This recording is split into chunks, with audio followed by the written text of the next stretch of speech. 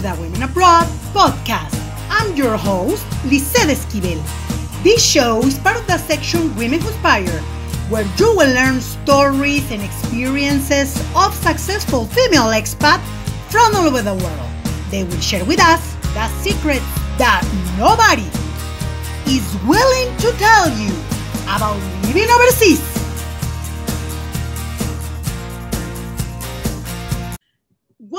To another episode of Women Abroad. My name is Lizet Esquivel, global editor on Welum.com. I'm in charge of the section Women Who Inspire. And now we have another section is Women Abroad.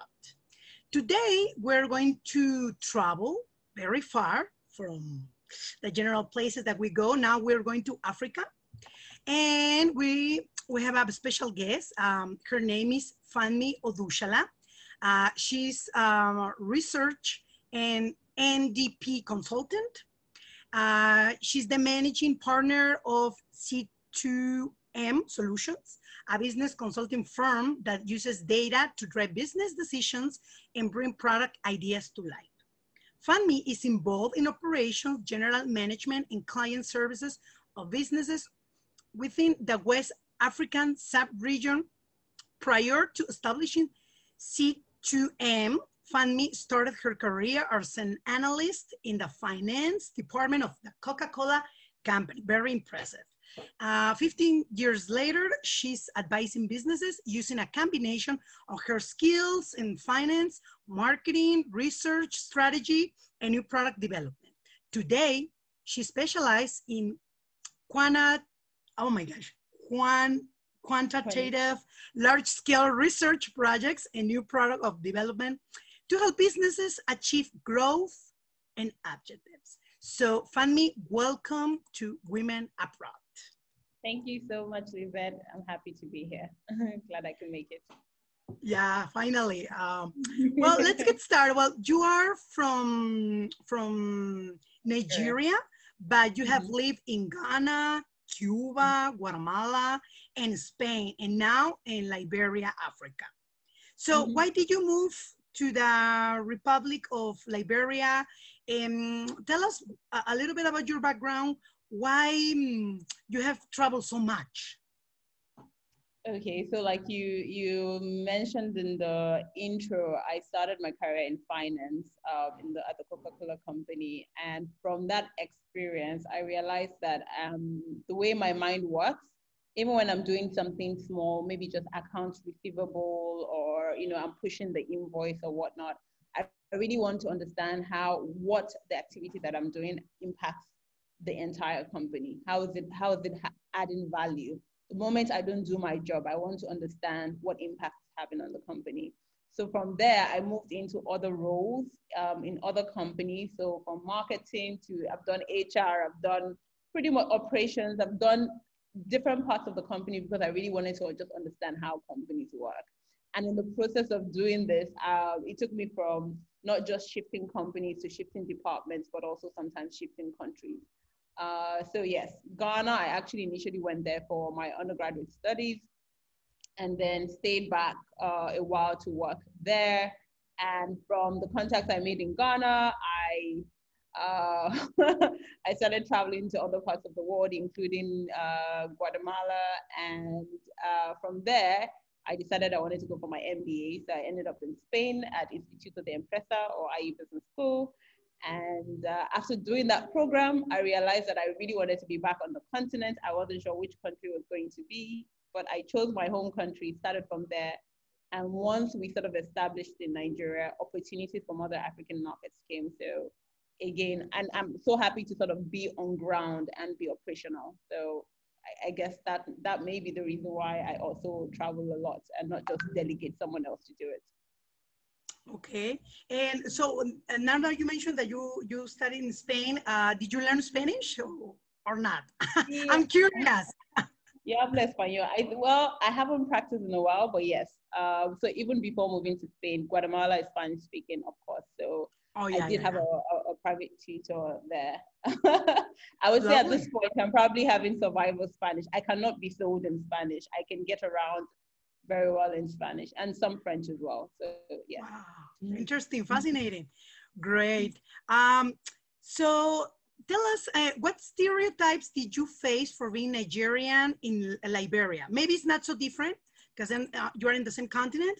But anyways, it's mm-hmm. important to to understand um, these stereotypes that you you faced. Yeah.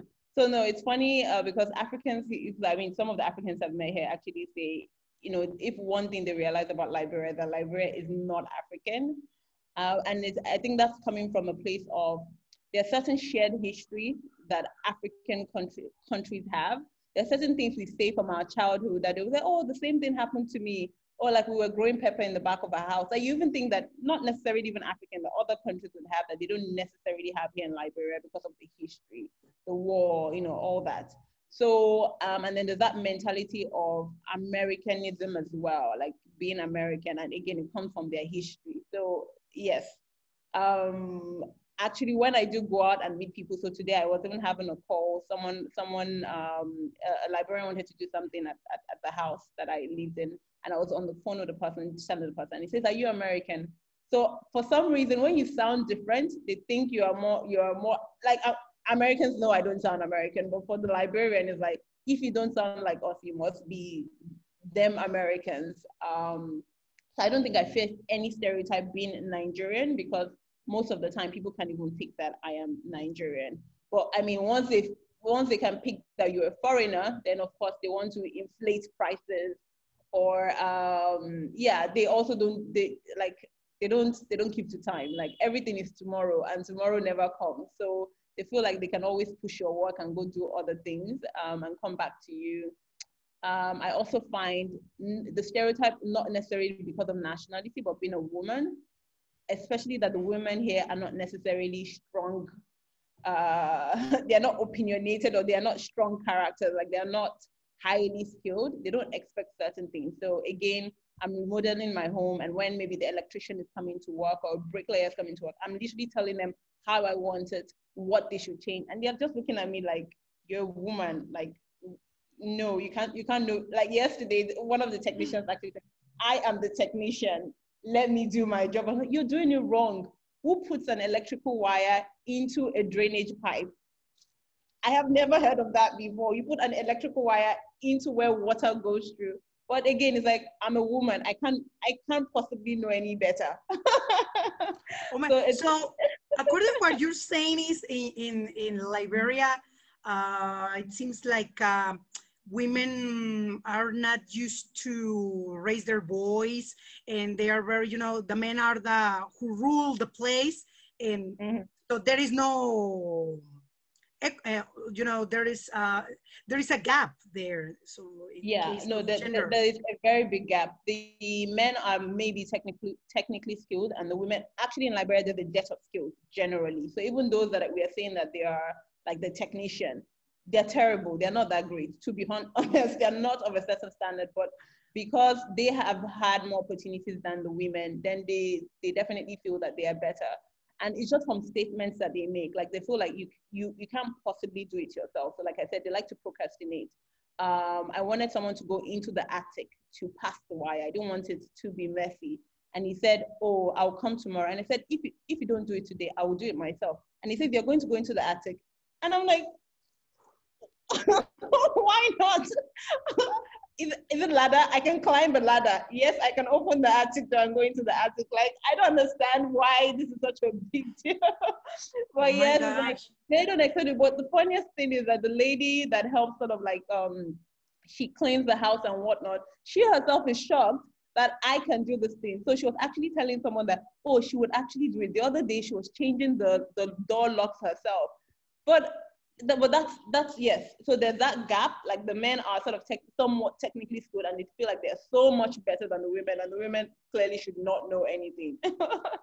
yeah, oh, complicated. Now, I think um, can you speak louder? Uh, because I maybe the, your microphone is a little, you know, um, I can hear you, but maybe when I um, publish uh, in Spotify can be complicated. And so okay. it's interesting, you know. Um, and uh, talking about challenges, uh, what challenges did you encounter? You, you mentioned something, but I don't know if something else. What challenges did you encounter and how did you overcome them in Liberia? No, the challenges, I'm still overcoming them. I mean, one of it is like the debt of skills, like I said. You want to do the simplest thing for you to get um, someone that can do the job well and do it one time is very difficult. That's just the honest truth. Um, small mistakes can cost you a lot. Like, I mean, right now I'm sort of in like a house mod- remodeling phase. So those are the examples I, I can immediately give you. Um, because when it comes to work, if I want it done properly, I probably will not use someone here. I'll call someone from Nigeria, from Ghana, from Benin. And you know, now we are in a in a remote world. Anyone could do those sort of jobs. Because I want to say, when it comes to work and tight deadlines, I don't have the patience um, at the moment to be training someone and making errors. But I mean, with the remodeling, I can't be flying people in to do the stuff. But um, for instance, one of the one of the workers had put on the pumping machine, the pump to pump water, and didn't realize that it wasn't pumping water, and they had left it on until it burnt. Oh and then when I got back and I realized that, but this thing is not, it's not pump, it's not pumped. It, needs to be primed, like it doesn't have water, right? I, I realized that they had burnt the, burnt the pump, and then I had to spend another two hundred dollars replacing that pump. So now I'm just like, don't touch anything, right?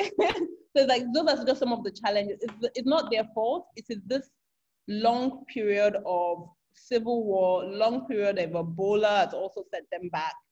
Uh, but it's the best, the, the, the challenge is also an opportunity. I mean, that's why I'm here. It's virgin land. It's like, think about everything and everything from telecoms to banking to technical skills to think of anything is needed here, right? So although it's a challenge, like someone like me wants to probably move money or bank or whatnot, and it's like every time you literally physically have to go to the bank, you can't do anything smoothly online but it's also an opportunity to sort of create value. The moment you're able to solve that problem, then you're able to um, um, capture that opportunity. So, so, yeah. So for you, the reason that you are in this place with so many challenges is because you see it as an opportunity, as all these uh, situations that say, okay, there is not good services, or the people don't have the skills for, you know, like the electrician man or whatever. It's that you can bring these opportunities with your with your knowledge, with your company, right? Yes, no, absolutely. So, I mean, it's one of the frustrating things, but it's one of the things that attracted me to the country today. All these things are missing. It's an opportunity to build these things and build it well, you know. Um, so, yes, it was one of the things that attracted me. One of the things I'm doing uh, later on in the month is also just training women to say, look, you don't have to be just the cleaners or, you know, the doing menial work. You can actually learn simple skills that you can learn how to use a computer. You can learn how to answer a phone. You can learn simple skills that already put you up the ladder from what you're doing right now. And these things are very, very simple. So it's just the lack of these things. Imagine just doing a training and and that's another thing. Liberia is so expensive. You could do a training, and I'm telling you, the train charging fifty dollars per person per hour is cheap.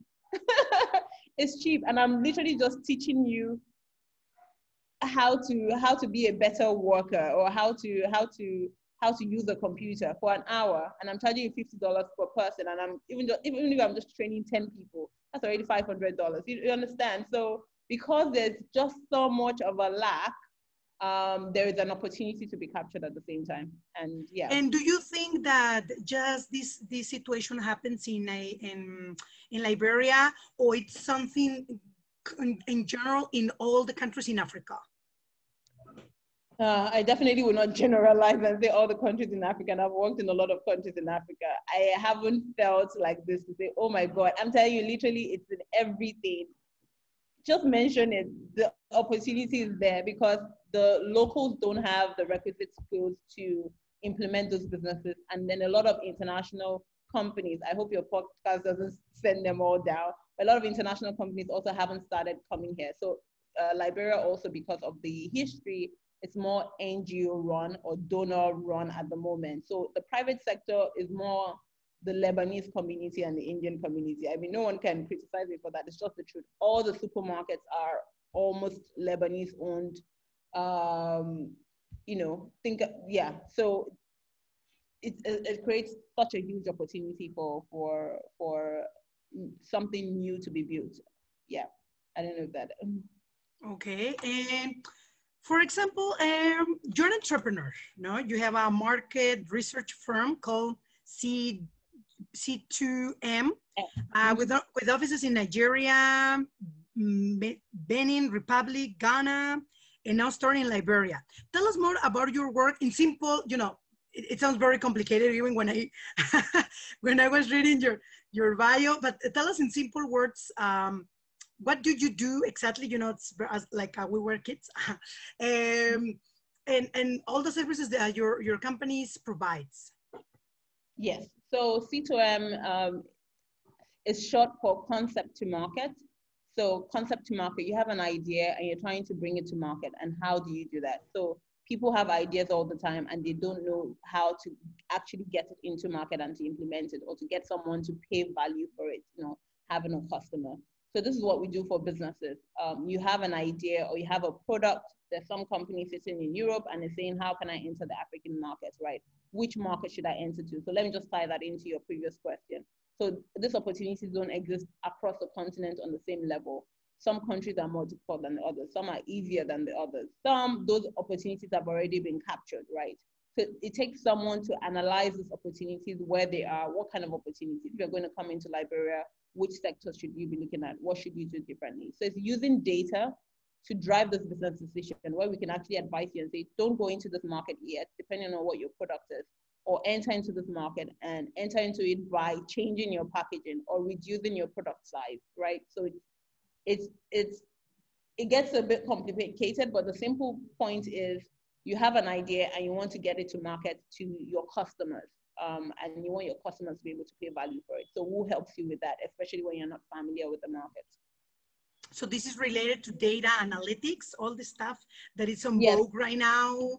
Uh, mm-hmm. companies are requiring data, study, uh, all this. Uh, so yes, data, data needs to be captured and the data needs to be analyzed. But uh, for us, the focus is not just saying, oh, we are, we are data analysts so that we analyze data.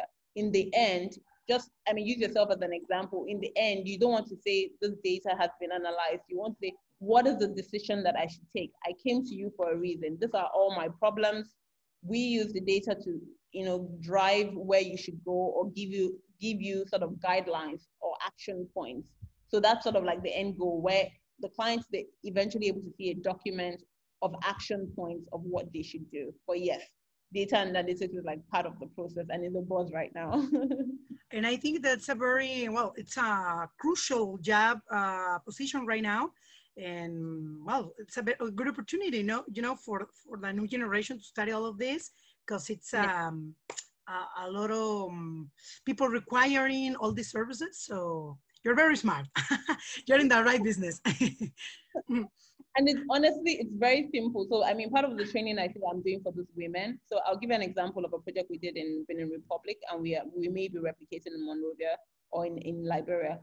Addressing system is very bad. Um, and this used to be the case of many west african countries. I mean i remember living in ghana and you want to give someone a direction and you say go down that road and you'd see a mango tree and then you turn right and you see a woman selling rice and then you turn left the day that woman selling rice is not there it's like you're going to be lost because you keep on walking down that road and you will not see this woman selling rice. Like we literally use things rather than saying go to number five of 10 streets, you know. So Liberia doesn't have addressing system at the moment. So if I was to give you my house address, it would sound something like, oh, and then you see this building that is cream or whatever.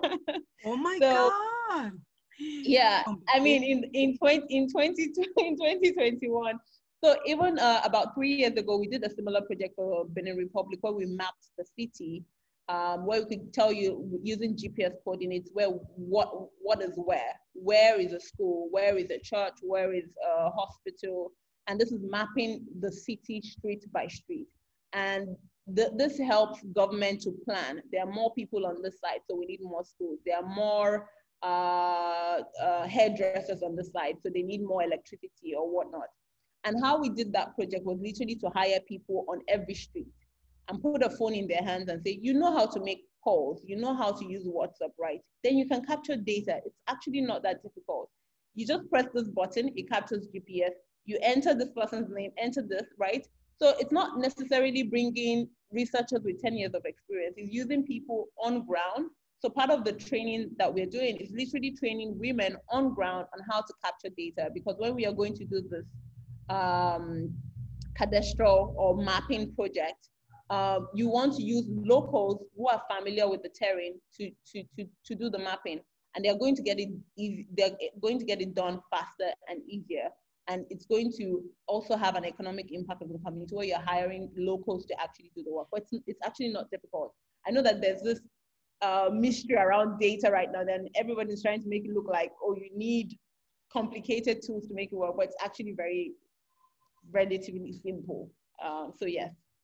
So it's not complicated because yeah, it sounded very complicated. And well, and that uh, if I remember, the last country that you lived before Liberia is uh, Spain. Uh, so I moved from Spain back to Nigeria, and then from there I moved to Benin Republic, and then. so what is your last? I, what I asked because, for example, I I would like I would like to we talk about the the culture, the work mm. culture, so that you can yes. uh, talk about a little the differences between the culture of the last country that you lived and yes. um, in Liberia, for example. Mm -hmm. That's what I asked how as the leadership or the schedule, the, the attitude of the people, all the stuff in order that people understand the differences because each country, you yeah. know, has uh, a different work culture. So no, you're absolutely right. I mean, I did move from Spain in 2012, but I haven't actually really stayed in any country long enough uh, since then. Like I've just been literally moving across West Africa. I would still say Nigeria is based, but I've just been traveling all across West Africa um, and now I've sort of made Liberia uh, based. But to answer your question in terms of, uh, like I said, Liberia is very different. Even for Africans, we know that Liberia is, is sort of unique in itself. Uh, but also because of its history, it's more American than European. So again, it doesn't really compare to the, I mean, the European culture is also very different from the American culture, right? So um, Liberians are very loud. I mean, I come from Nigeria, and I, I'm telling you, you may have encountered Nigerians maybe at the airport or Nigerians are loud. Like we're speaking on the phone and you think we are we are using a megaphone. We are loud. So for me in Nigeria to tell you that Liberians are loud, I'm telling you, like everything is done on a mega scale. It is noise. Europeans are not like that. Um, they also even diversity of food i find uh, rice has to be like the national dish there's rice eh, that people are eating rice every day um, and even as a nigerian that is strange because they have a diversity of food. I mean yes you have grains but not as much as you would expect. And again europe has like a diversity of dishes. In fact that's literally what i live on. I, I know i'm living in africa but I could be Italian in another life. I, I, I, eat different sorts of pastas in different ways, from spaghetti to lasagna, so to macaroni. All delicious like, dishes. yeah, you know, so you could have it in different varieties. You don't really have that variety here. Um, I mean, the people are different, the culture is different. They do love to party. So I would say maybe that's a similarity between Spain and, and Liberia. Like the weekend starts from Wednesday, and yeah, it's like you you and that's something that I really did like about Madrid. It's like yeah, every day you you work hard every day, but you live your life at the end of the day. You don't you don't delay gratification. You you must have that glass of wine. You must go out and have have tapas or something. You know, like you don't you don't wait and say let let me work for a month and then I would. Yes, you still take the vacation, but every day you feel like you're actually having a, a, a piece of enjoyment. So yeah. Mm-hmm. But so in Spain, the people um, party more than in, in Liberia. So according to what you're saying. Maybe maybe on maybe on the same scale. I don't I don't know if it's more, but Spaniards would come here and they would probably love the energy of how they party so much. I mean, from literally from Wednesday the weekend, like it's like a weekend. Especially when it's close to the end of the month for those maybe collecting their salaries or whatever. Then, in fact, workers, half of the workforce don't go to work the day they get paid, the next day after they get paid, because they're, they're it's it's it's like full blown parties.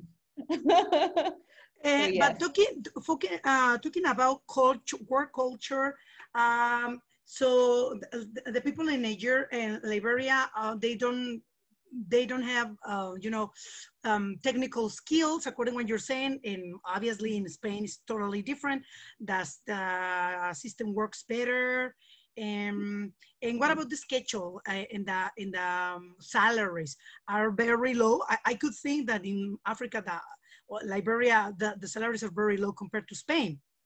Yes, yes, absolutely.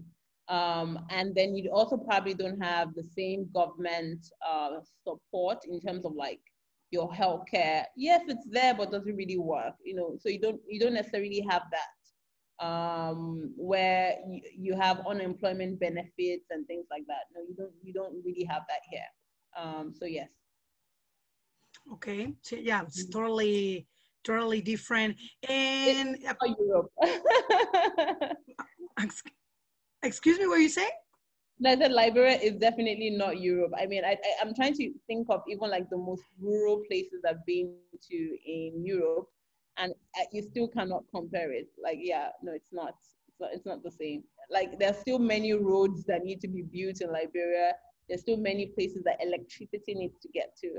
I'm in the center of the city, and I'm like literally on the Serrano of Madrid. Like, that's where I live. Like, it's really posh area and the electricity is still not stable, right? You still need backup power. um, so that's that's where I say there's a lot of challenges, but again, it's also a lot of opportunities. Elec- someone could come overhaul the electricity situation. Someone could come overhaul, um, uh, yeah, security, the, the, the, telecoms, for instance. Um, there's unlimited internet in Spain, and it's everywhere. Like cafes, you can go and you can connect to the internet. Hotels, there are hotels here that don't even offer Wi-Fi because it's expensive um, on my on my phone, I get 25 gig for about fifty dollars. That's almost two dollars a gig. I can understand why you still live in Liberia. Oh my gosh, uh, living in, in in maybe in Europe with all the benefits, uh, the quality of life, and according when you're saying Liberia, it's uh, oh my gosh, it's like. Uh, I love solving problems. So if, a, if, a if a place is perfect, then I go to where there's a problem because it allows me to fix that problem. Let me tell you, the first week I was here, the first two days actually, I spent almost $200 on data because of what I was used to, like my devices, my WhatsApp, my mess, my images automatically download, you know, I, I don't limit my data. Like I'm not one of those people that put my data off. So the first two days, I spent almost $200 on data. After that, I, I, I, I disabled automatic download of pictures. I don't need that. Can you imagine? No, in, in Europe or even in America, you don't spend so much money in two days. Exactly. Uh, yeah. Oh no, no, it's so. My gosh, yeah, they are. People very, are taking advantage of the fact that those services do not exist. If I tell you what the banks are doing here, it's crazy. if I use my local card, so I have a local bank card here, and I go use it at another bank's ATM, they charge six dollars. And I was telling a friend from Abidjan the other day, it was like, oh, it's normal, you know, Cote d'Ivoire does the same. Poorer countries pay more because I could e- easily use my Barclays card at Santander, and I'm definitely not paying six euro per transaction. This is per transaction, by the way, per withdrawal. You're charging me six dollars per withdrawal and then on your on your ATM, the maximum is like $120 you can take out once. Imagine you want to take out a thousand dollars. You're gonna no. be paying $60 just to withdraw because you're using another bank's ATM. And there are just many other things. Like you want a reference letter from the bank, you know, that letter that says this is this person's account number. Um, they bank with us. Yes, we, we agree they bank with us. That letter that sometimes I can even get for, for free in many banks that are banked in the world, they charge $40 for that paper here. It's shocking. But the banks 14? know that you don't 14? Four zero. 40. Ah, four. 40, no. 40. Four. 40. Yes. Oh my God, it's extremely expensive. Oh, no, no, no, no. It's beyond the line. Yeah, yeah. They know you don't have a choice. Like where are you going to go to? The next bank is doing exactly the same. There are only two telecoms company in Liberia. so and they do they have the same data package. You can't say I'm going to the competition. There's nowhere to go. Liberia has taught me to be humble. Now when I go to the bank to withdraw my money, I'm very nice. It's not like in my in Nigeria, I could I could say, I want to take my money, I want to close my account. Not here. Here you go. You say, Good afternoon, ma'am. How are you today? Please, I want to take out money in my account. How much? How much can I take out? You'll be very humble. so it, I, I think it, it seems like uh, talking about Africa, Nigeria, it's a uh, better place uh, than Liberia in some services. All this, it's, uh, it's kind of different. So it's more complicated in Liberia. Everything is more complicated. Yeah, I mean, so the sad part is, as a Nigerian, when I'm in Nigeria, we're like, oh, South Africa is so much better, or we compare to Rwanda, or this in Kenya, or this in Ethiopia. Even Ghana, oh, this is better in Ghana. In fact, you know, Twitter just moved their office to Ghana, and everybody's like, oh, see, they're coming to Ghana rather than Nigeria. So honestly, we don't think as Nigerians that we are getting standard. Standard. We think we're getting substandard, and to a very large extent, we are getting substandard. But Liberia makes Nigeria look look good. It actually does, which is really sad. Well, maybe South Africa. It's uh, you know because uh, uh, for menos here in America, South Africa, it's uh, um, has a better reputation that you know it's a uh, high infrastructure, good services. Even when you look for some pictures, looks very good, very modern city, and mm-hmm. all the stuff. It's like like a, you know any country in Europe and America, uh, and South Africa. Uh, yeah. I have seen that other places are not like South Africa. No, no, yeah. So South Africa is also different in Africa, and, and, and Liberia in its own way is also very different in Africa. But honestly, if there's anything I've learned traveling to all those countries, poorer countries actually pay more for services um, that you would not be paying for in, in developed countries at all. Or even, yeah. yeah. So then strange, but it happens. Um, and so in, in your experience, is a country where there is uh, diversity and inclusion? Liberia is a place where the diversity and inclusion? So first, Liberia is a very small country. The entire population of the country is no more than 5 million. I come from a country that we, we are not even sure if we are 200 million or more. Uh, my state alone, just one out of 36 states, is 20 million people right? So that's already four times the size of the entire country. My local government is bigger than the entire country. So it's not a very big country, uh, but yes, it's very open to foreigners. It's very open to, especially people of African descent. It's open to Americans. It's open. It's it's actually like a very. I feel like you don't necessarily feel discriminated or yeah. No, it's very open. People are friendly, except we know when they want to cheat you and double the price or whatnot. But that's standard everywhere, honestly. Yeah. Um, so yes, it, it is. Yes, they, I think they do encourage diversity. Um, in terms of women inclusion, what is I think pushing women back is the fact that they've not had access to the same opportunities that the men have.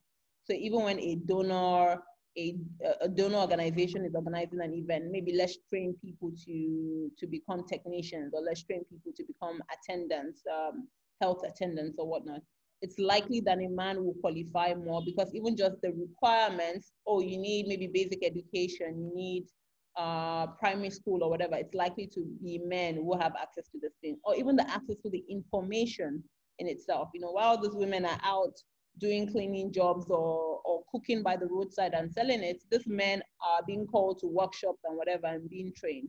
So I think um, that's where the disparity is, where you will not you may not necessarily find a lot of women being included on many levels of, of, of the of the economic scale. So there is a very big, uh, very big gender gap. You know, no, there is. Women and men, and like a, uh, women is nothing in Liberia. Oh my God. Yeah, so I mean, you would you would actually feel it. It's not that I've actually even gone to do research, but you actually feel it because especially when you're a woman and you're in certain places or you're doing certain things or you sound a certain way, they're actually genuinely shocked you know, like it's not like they're not used to seeing like for the donor organizations, a lot of women do come with them, right? So the UN is here whatnot. So they see those women, but they don't necessarily expect it maybe first of African descent or they, they don't expect it of their own people because it's not common. It's not commonplace. Um, a lot of people, um, even just me saying that I moved to Liberia or that I'm here by myself and I'm exploring all, all those opportunities and I'm registering the company, they're wondering, you're doing all this by yourself. Uh, you don't, you don't, you, you, didn't come here for like they expect that there should be a man. I must have come here for. Oh, where, where is your husband? Or you know, do you have a, do you have someone here? They just cannot wrap out around their heads. But men are able to move to countries all the time and set up businesses. It, like I said, the Lebanese community is very big here. The Lebanese community is very big in Leone, and it's the men who just leave home and then they go explore other places. But when a woman does it, they're like, "How? Why?" No, it seems like it's worse than Latin America. Uh, we think sometimes that uh, we have a very big gap, but it seems like uh, in Africa, uh, compared to Africa, we are very in a very good place in Latin America. So, uh, so the, the next question was uh, the well-being, but it seems that it can be a well-being if there is no gender equity. You know, so I think it mm-hmm. seems like there is no well-being in in Liberia. It's the even I don't, I, I'm not, I'm not gonna ask because it's obvious that it's not well-being. Uh, Many so challenges if you compare it to like a standard that you know. But again, is that like that story? I don't know if you've heard of that common story of two salesmen were sent to an island. This company sells shoes and they send out two salesmen. One comes back and says, There's no opportunity there. Nobody wears shoes, so we cannot sell shoes to them. The other one comes back and says there's plenty of opportunity there. Nobody wears shoes, so we can sell shoes to everybody. So the thing of perspective, right? So all the things that they like honestly, Liberia is like a blank slate. Just imagine. Yeah, but compared to Nigeria, compared to yeah. where the countries that you have lived, because it's a reference. Yeah, yes. Seems like there is well, no well-being. yeah, yeah. But for me, it's like, oh, imagine all the things I would like to change in my country, and now have the opportunity to sort of do it properly from the start. Yeah. But yeah, yeah. it's not comparable. Oh, okay, and now let's talk about basics. Uh, to, uh, let, um, tell us a little bit about the dishes, traditional dishes that people should eat if uh, they go for a vacation to mm -hmm. Liberia or if they want to, to live uh, in, in this place. I, I try to avoid, uh, I'm, I don't know, for some reason, I'm able to avoid local dishes. I mean, except those that I love. I, I love tamales and, but anyway, there is if you come to Liberia, you'll be you'll be served potato greens. It's like the the green of the potato, not the potato itself, like the leaves. they cook that into like a, a, a sauce and most likely eaten with rice. So there will be a lot of rice. If you're one of those people that don't eat rice, rice, rice, rice is that. yes, rice, like white rice, rice in different versions. You'll be eating a lot of rice. That's like the national food. There's also something called cassava. So the cassava leaves. We have cassava in Nigeria. I don't eat cassava leaves. I'm very familiar with the leaf, but I don't eat it. But yes, they have that here where they eat the leaves again with rice or, or some sort of other stash. Um, there's also uh, the it's like it's made from palm palm palm palm nut. There's a it's like a it's like a palm nut soup. So they have that, they have that here as well. So, so those are some of like the common local dishes. But then honestly, if you go to the restaurants, you find a lot of American food. So there's a lot of burgers, there's a lot of pizzas, fries. Yeah. Very American. Very American. Yeah. And some uh, any dessert uh, that is popular or candies or drinks, no? Um drinks it would be like a punch, maybe a punch. Uh, but yes, no, a lot of things are also imported here. A lot of things. I don't know if anybody from Heineken is going to see this, but when we when we drink Heineken here, we throw the bottles into the dustbin. No recycling whatsoever. At least in Nigeria, I can understand that because we have the brewery, the bottle is sent back to the brewery. Here, it, go, it goes straight into the trash. Can you imagine the thousands or the millions of bottles that gets thrown away? Um, oh my um, gosh. So yeah, so it's I, have been thinking in my head, how can I collect those bottles and just put it in a container and send it back to the Heineken company? no, maybe I don't know, create something new with these bottles. You know? Yes, yes, yes. No, recycle I keep my own or something. But when I no, they don't recycle anything here. Not the aluminium cans, not the nothing. nothing so garbage. Oh my gosh. Garbage, garbage. No, no, no. The only thing they they reuse are the plastic bottles. So like the water bottles, uh, when it's done, they use it for like oil or um, like groundnut oil for storing groundnut oil and selling groundnut oil. But everything else they throw away. Um, so initially I was I still do, but now I keep it. Like I sort my bottles, I sort my garbage and whatnot, uh, cartons and paper, everything. And when I give it to the guys to throw away, they just put everything together. I'm like, I spent so much time sorting there's no point because they don't need it, they don't see value in it, so they throw it away. So now I just store it until until I can find use for it. Uh, but what was your question? I think I digress. I haven't find I, I haven't found something good right now with this country Liberia. Okay. Um, now, uh, how do people spend their time? How do people spend their time? You know how they uh, have fun. You know, but like I said, from Wednesday, it's like a party. People just sit outside their house. They play loud music. I have a recording of me sitting in my house, and the next house for me is like a hundred feet away. Hundred feet, like there's a field, there's a football field between me and the next door neighbor, a very big field. And when I was doing the recording, I was sitting at literally where I'm sitting at like the dining table. And when I play that song, it sounds as if I'm playing it right here in my house. That is how loud they bring out like big woofer speakers, put it outside of their house, and then they play music and they drink and they eat and they party. Like Yes, they don't need a special occasion. From Wednesday, loud music, partying. And of course, people go, they eat out, they go to the clubs, they go by the beach, but the beach is very underdeveloped waterfront, but they still enjoy it. So yeah, they're very basic people, honestly. Can have. But but it seems like they enjoy uh, spending time in the uh, inside the houses with music, friends, all the stuff. Yes, no, so not necessarily inside the house, but like outside in their compound. So every small house has space, you know, outside mm-hmm. of, the, of the compound. It's not, it's not a city, you know, where you have boundaries. So you can you can just put your speaker. Simple. They enjoy the simple things. And yeah. talking about customs and traditions, could could be mm-hmm. religious or civic uh, customs and traditions in Liberia. So the Episcopal Church is very big here, again, from the American uh, background. Um, I've seen that the churches do a lot of burials more than actual service. I don't know what's up with that. um, like every time I see like the people are dressed up to go to church, there's also a coffin. I don't know. Uh, but Sundays, I don't really see people dressed up like that going to church. Um, but yes, I know that the Episcopal Church here is also quite big. Um, so for custom, oh yes, and Liberia has a lot of holidays. So for instance, they celebrate. I, I hope I hope they don't listen to this and come find me and send me back to my country. No, but they have they, they celebrate the first the first president's birthday, the second president's birthday.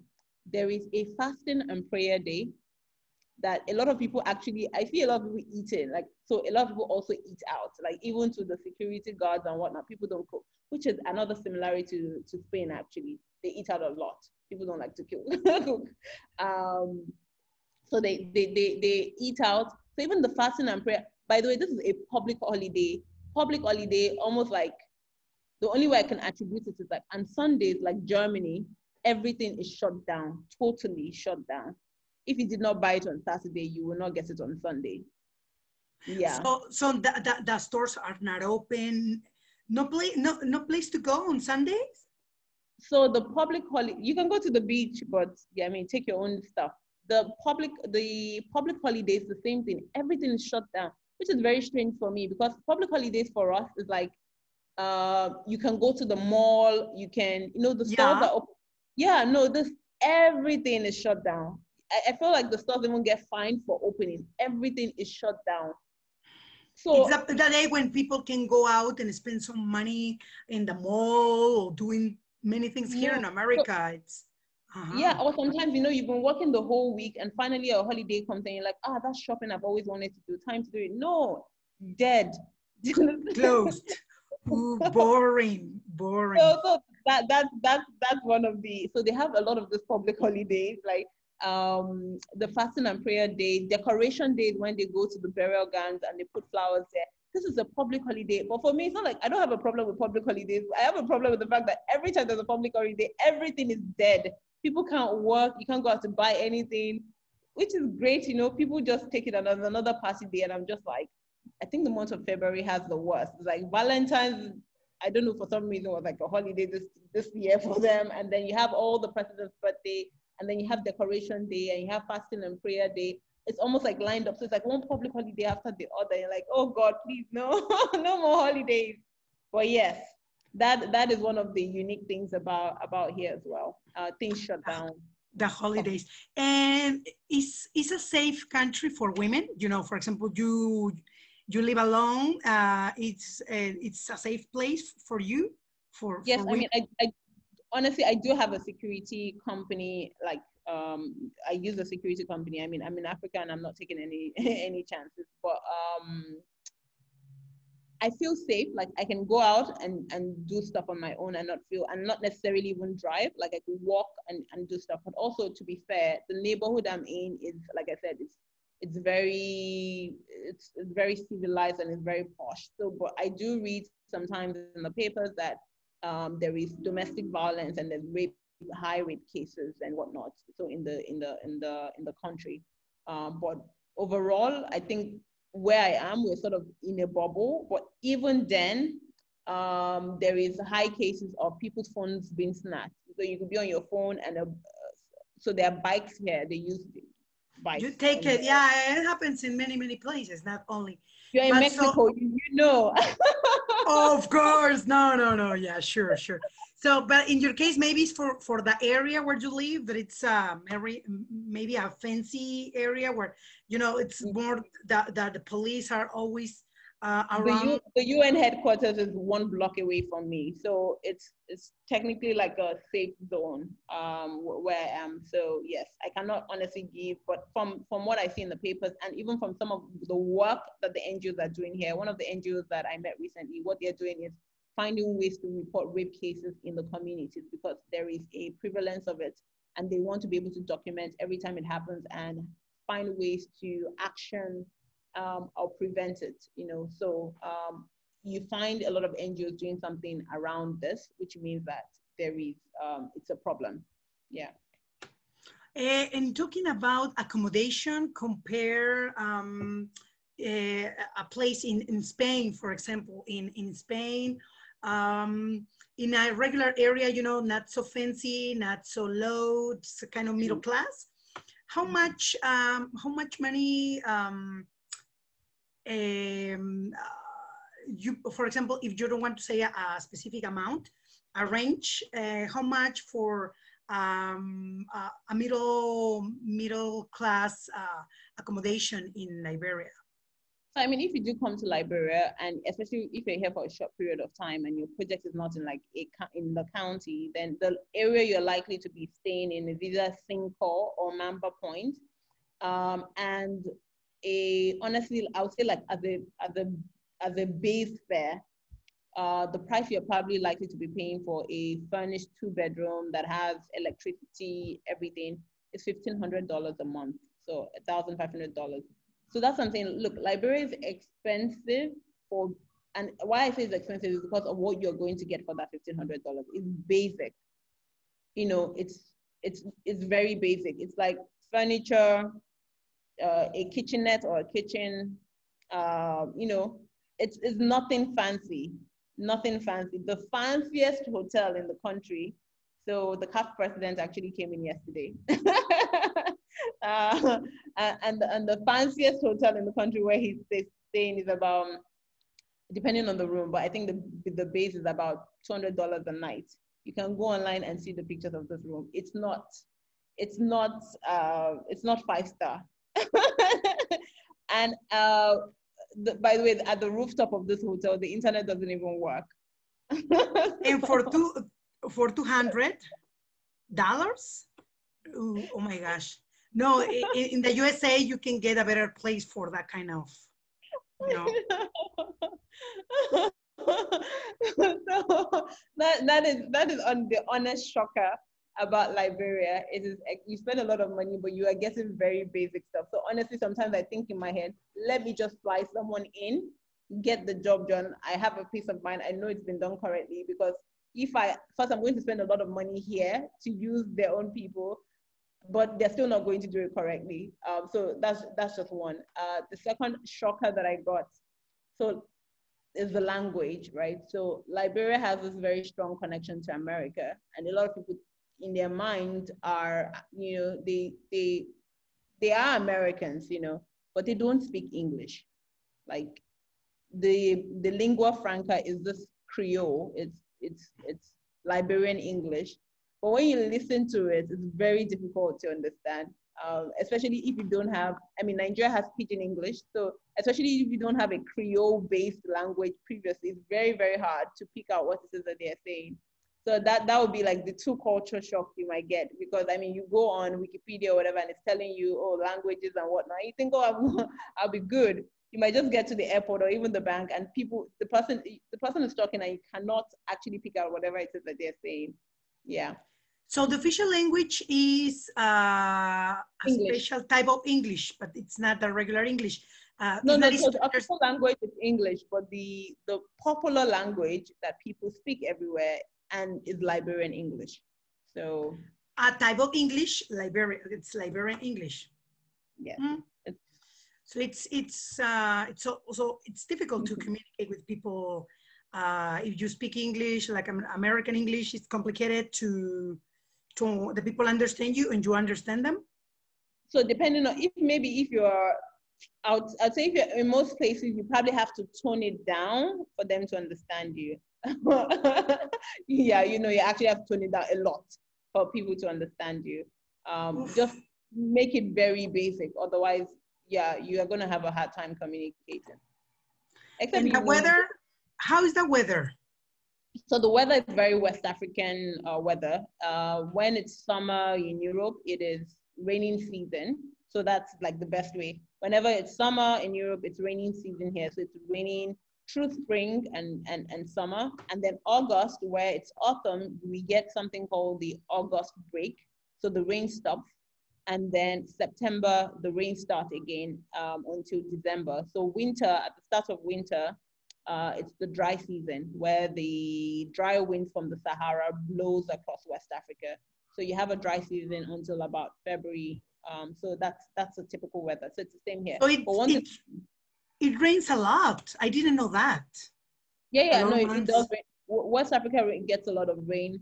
Um, and also here, I've noticed that their storms are very, very violent. Like the, the rains, like, yeah, we have thunderstorms, but this you're having like loud thunder, thunder sounds and lightning, you know, it's like you, you really feel the impact. But um, yes, so it rains, it does rain a lot. Throughout the year, it rains a lot, yes. So it's, uh, to have a trench coat, it's important and an umbrella. Have a trench coat, yes, and rain boots. Depending on where you are at, you need your rain boots. That's something I miss actually. That I I, I want the European rain boots. You know, the fancy, cute ones. oh yeah, from the from the fancy brands. and so it seems uh, the next question is difficult because uh, I want to ask you what are the do and don'ts of living in Liberia, but it seems like a lot of don'ts. uh, let, us uh, try to get the, the bright side of this place, please. Yeah. Um, you have told me many things that are not very pleasant to to to listen. No, no, no. So no, but now try to focus on the very few positive things that we can find. Sorry. Um, yeah. Okay. No, there are positive side, Like I like of know, living said, in Liberia. Uh -huh. Yes, accommodation is expensive, but it's an opportunity for you to create affordable housing, for instance. This is how my mind thinks, sorry. But they are also very beautiful landscapes. Liberia is a country of only 5 million people, but they have a lot of land. Like I said, they import a lot of stuff. So agriculture, you know, there's opportunity in agriculture, there's opportunities in exporting, there's opportunities in, anyway, um, they're, they're also very beautiful, like uh, there's a blue lake um, you know, it's in another county. There is a place called Libassa. It's an eco lodge.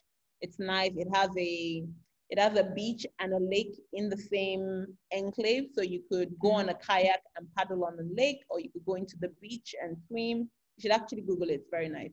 Um, they're, they're, they're, they're very, people are chill. So I don't feel even pressure to dress up which honestly in Spain, I can't just wake up in the morning and my hair is standing and I decide to to get into the street. I mean, I get where I used to live in Spain, I get onto the street and the Dior store is next to me.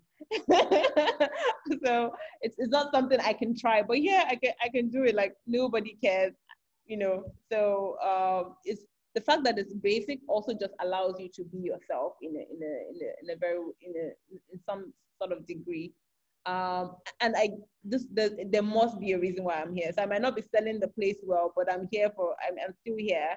Um, and I think it's because of all the different opportunities that I see. It is a blank canvas for you to build what it is like the future that you'd like to see.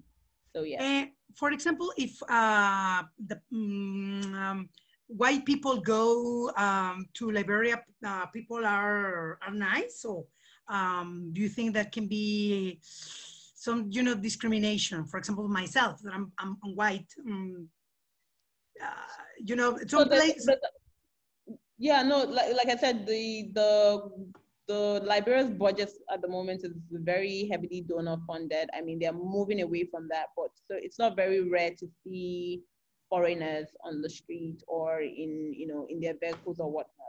There are a lot of uh, Lebanese Indians here, but there are also a lot of um, Europeans and Americans. Um, yeah, I'm actually I actually feel comfortable. So part of my family is actually some part of my family is actually European, and I feel comfortable, you know, inviting them over to come spend. Oh, no time. problem. Yeah, because it's important to know. You know, some people, uh, some black people uh, feel, oh, I'm discriminated. You know, for example, the United States, but they treat bad to the to the white people. So it's not logical. If you are complaining because you feel discriminated, but you discriminate, so it's kind of. But well, in this case, it's okay. Mm, and tell us uh, about the tourist places that people should visit in Liberia so one of the things that I do, which is weird, it doesn't sell Liberia a lot, but I mean, so there are a lot of beaches here, like I said, but they're not very developed. So one of the weekend trips that I do is to go to Sierra Leone, which is next door. And I tell people it's, it's a plus because you can literally do two, three countries in one trip. You can fly into Liberia and do Liberia, Sierra Leone, and you know even Cote d'Ivoire or somewhere else that you want. You could do you know the countries nearby but um, Sierra Leone has a little bit more developed waterfront than uh, Liberia. It's also cheaper um, in terms of you, you have more of your spending power. Uh, so I do that. Um, but like I said, there's the Blue Lake, there is the Eco Lodge, there is, then there are a lot of like restaurants and places to, I mean, uh, I know that that's not like an attraction, going in a country where it doesn't have much, that, that is an attraction that, that fancy hotel that I talked about that is like the fanciest hotel in, in Monrovia, now it's it's like the place we go sit and watch sunset. You know, we go sit and watch the sunset. so, there, there, are there are safari safari um, uh, places that people can go as like a tourist if you want safari, that's East Africa. West Africa does not have safari. I mean, yes, Ghana has uh, the yeah, uh, no, sorry, Nigeria has the Yankari and Ghana has the Kakum. No, it's not Kakum. Oh, the one in Tamale. I've forgotten the name, but there's that um, place in the north, but it's not the same. If you want a proper, if you want a proper um, safari safari experience, it's it's East Africa. They they have the uh, the landscape, the animals for that honestly, if you find a lion in West are Africa. in East Africa, what countries are in East Africa? Sorry, East Africa, yes. So Kenya, Uganda, Rwanda, yeah. Tanzania, those places. Tanzania, yeah. lion, if you find a lion or a giraffe in West Africa, it is like most likely imported. And this is why you can also you can't also generalize uh, Africa. we go to East Africa to go see the to, to go see the giraffes and the lions as well. and it is common there that the women um, have um, arranged marriages, like in India and in other places. It's common or no?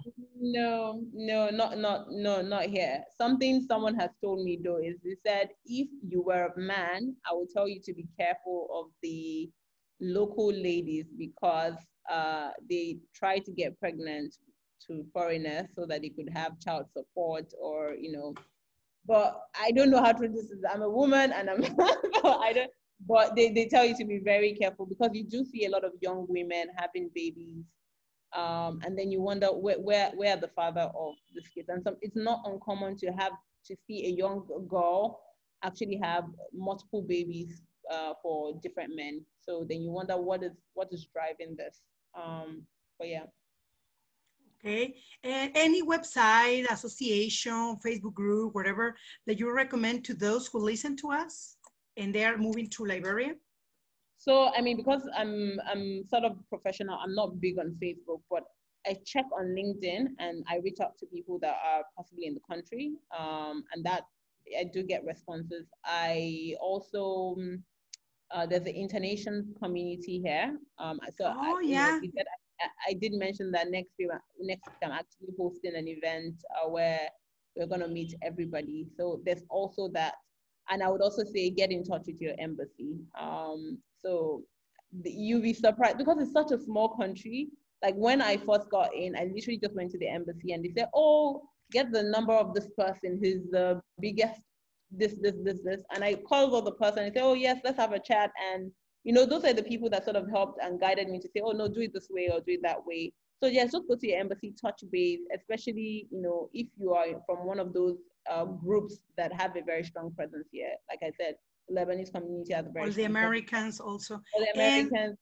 So in your case, so, uh, what is your immigration status? Are you a citizen, resident, or?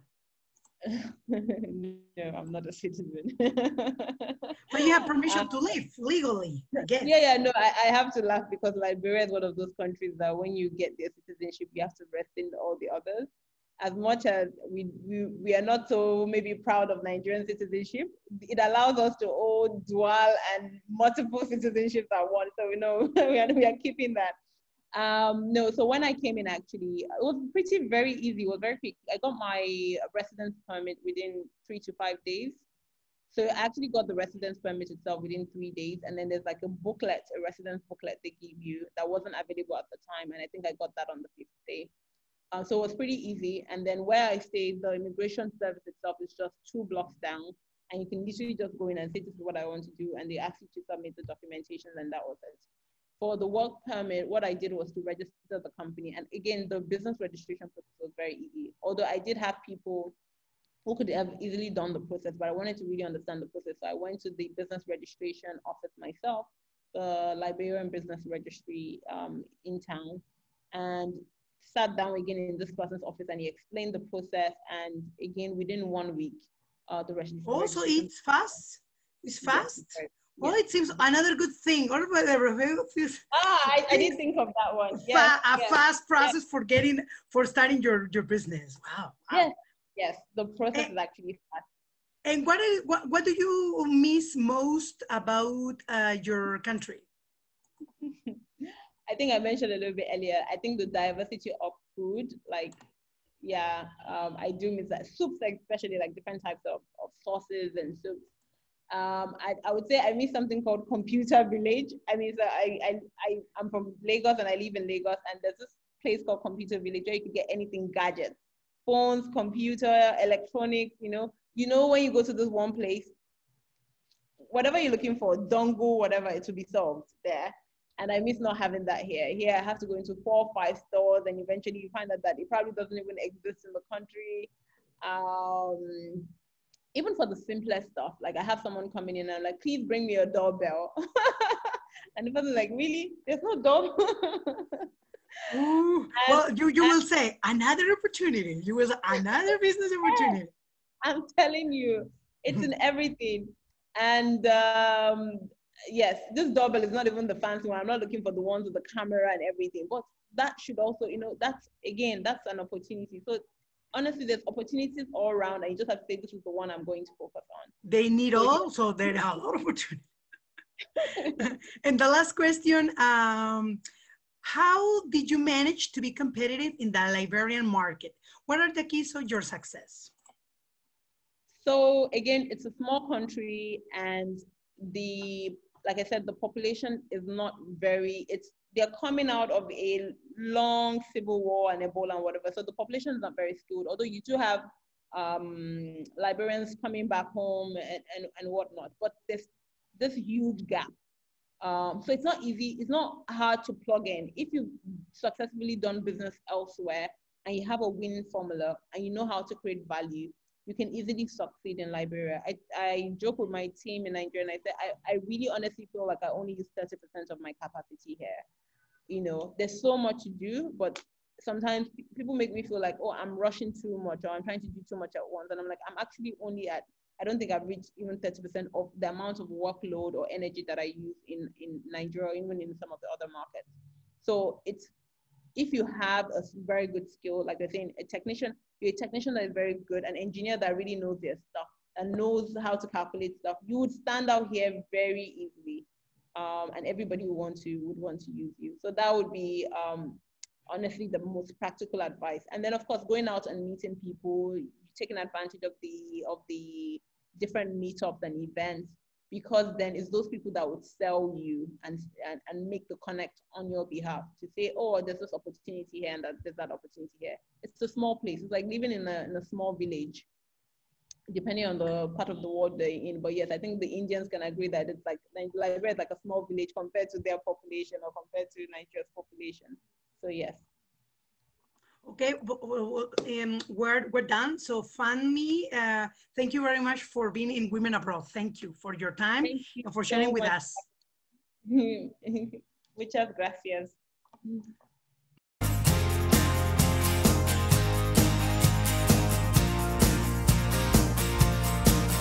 Gracias por escucharnos.